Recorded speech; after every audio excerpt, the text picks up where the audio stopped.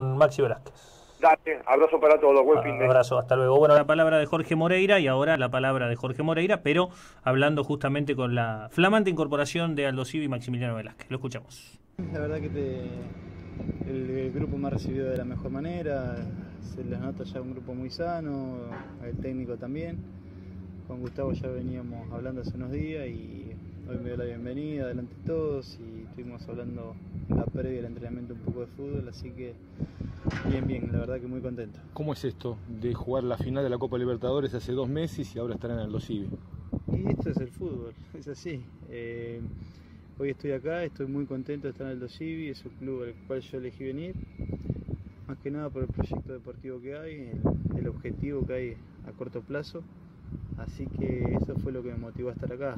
Eh, yo no continué en la NU, pero tuve otras cosas de primera división, pero lo que más me llamó la atención fue el objetivo que, tiene, que tenía Aldo Civi.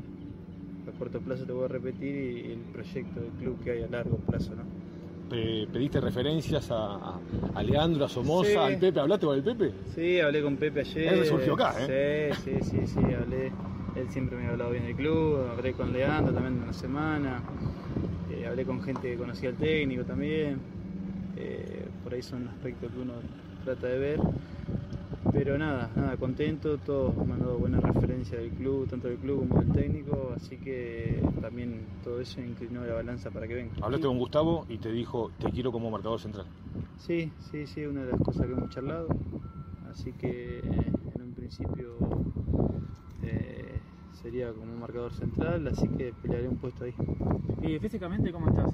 No, bien, bien, bien, hay que ver después la parte de los compañeros, cómo estaré, estuve entrenando, estuve entrenando duro, eh, pero no es lo mismo obviamente entrenar con un grupo, así que hay dos semanas para el primer partido, así que no, no creo que, que tenga problema de recondicionarme bien para ese partido. Bueno, el equipo está a dos puntos del, del líder, supongo que ilusionado con el ascenso, ¿no? Sí, sí, obviamente, obviamente. Eh, más allá de que hay muchos equipos en el medio, eh, ese va a ser el objetivo.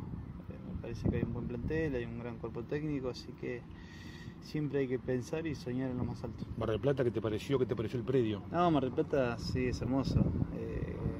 Conozco, y jugabas en Ferro y venías sí, para acá. ¿eh? Y, conozco, he venido a veranear, la verdad que es una ciudad hermosa. También, digamos, todas las, las, cosas eran buenas para venir, así que por eso eh, uno se, se, inclinó para este lado. Eh, pero nada, el predio también me sorprendió, las canchas están en muy buen estado, así que todo positivo. Bueno, ahora tenés el asado cumpleaños de Leandro. Sí, cumpleaños de Leandro, que ¿Eh? también me reencontré con él, así que nada, a disfrutar un poco. Bueno, bien, Maxi. Gracias, por todo. No, no Bienvenido. Hasta luego.